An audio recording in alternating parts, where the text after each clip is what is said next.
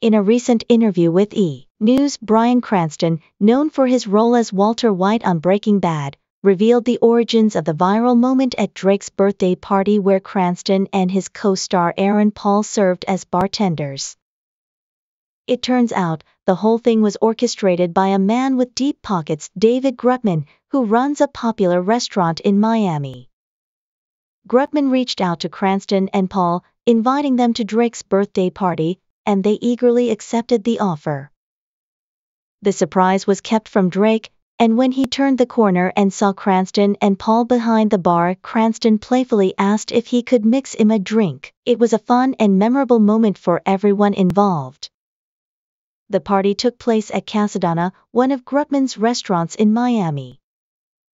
Grutman is well known in the hospitality industry and owns several restaurants and nightclubs, including the famous Club LIV. He has a knack for creating unforgettable experiences, and Drake's birthday party was no exception.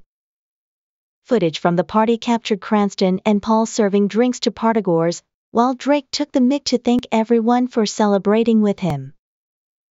He was presented with a massive birthday cake adorned with sparklers, adding to the festive atmosphere.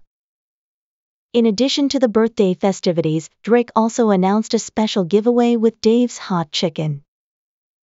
On October 24, anyone who downloaded the fast food chain's app received a free crispy chicken slider or tender at participating locations worldwide. It was a generous gesture to show appreciation for his fans. Interestingly, it was revealed earlier this year that Drake had invested in Dave's Hot Chicken.